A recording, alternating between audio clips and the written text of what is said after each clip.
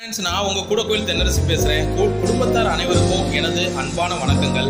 வாழ்க்கையில் கடைபிடிக்கக்கூடிய நல்ல விஷயங்கள் பற்றி உங்கள்கிட்ட ஷேர் பண்ணிக்கலாம் விரும்புகிறேன் அப்படி என்ன நல்ல விஷயம் அப்படின்னா நாம் வந்து வீட்டில் யாருக்காவது ஹார்ட் அட்டாக் வந்துச்சுன்னா அதுக்கு என்ன ஃபஸ்ட் எய்ட் பண்ணுறதுன்னு நாம் நெட்டில் சர்ச் பண்ணி பார்த்தாலே தெரியும். அந்த பழக்கங்கள்லாம் நீங்கள் அனைவரும் கடைபிடிச்சு வச்சுக்கோங்க.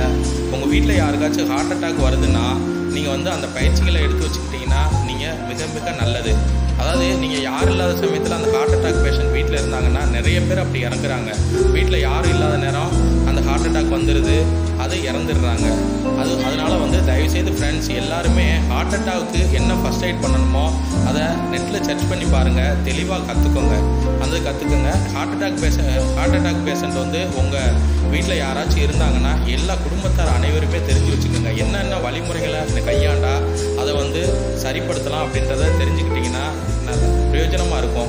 நீங்கள் யாரும் இல்லாத சமயத்தில் நீங்களே ஃபஸ்ட் எய்ட் பண்ணி நீங்களே உடனே ஆம்புலன்ஸை வரவழைச்சு நீங்கள் ஹாஸ்பிட்டலுக்கு கொண்டு போகலாம். அதனால் தயவுசெய்து சொல்கிறேன் ஏகப்பட்ட பேர் உயிரிழந்திருக்காங்க. ஆளே இல்லாமல் திருத்துப்புன்னு ஹார்ட் அட்டாக் வந்து உயிரிழந்திருக்காங்க. தயவுசெய்து ஃப்ரெண்ட்ஸ் நெட்டில் செக் பண்ணி பாருங்கள் ஹார்ட் அட்டாக் ஃபஸ்ட் எய்ட் பண்ணுறதுக்கு சிறப்பாக சிறப்பாக நிறைய வழிமுறைகள் சொல்லுவாங்க. அதை வந்து கவனமாக குடும்பத்தார் அனைவரும் தெரிஞ்சு வச்சுக்கோங்க.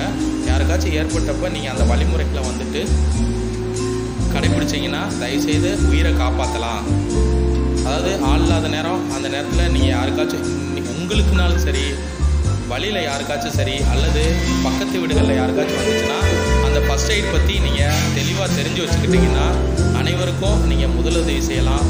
அடுத்து நீங்கள் உயிரை காப்பாற்றலாம் இது வந்து மிகப்பெரிய உதவி. நீங்கள் செய்கின்றது ரொம்ப புண்ணியம்.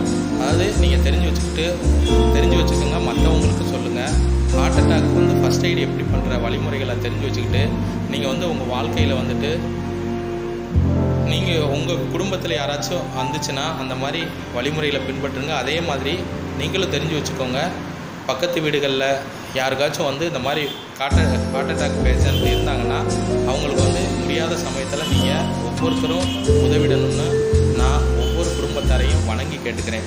நிறைய பேருக்கு இருக்குது அது கிட்டத்தட்ட அது எப்போ எந்த நேரம் வரும்னு சொல்ல முடியாது. திடீர்னு வரும்.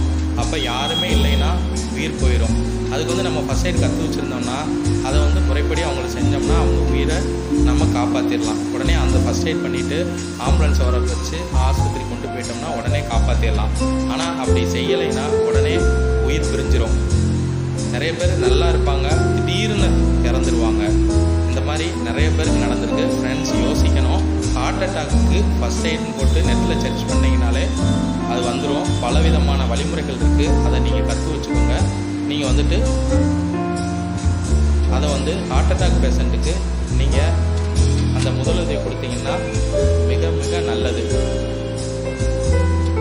ஒவ்வொரு குடும்பம்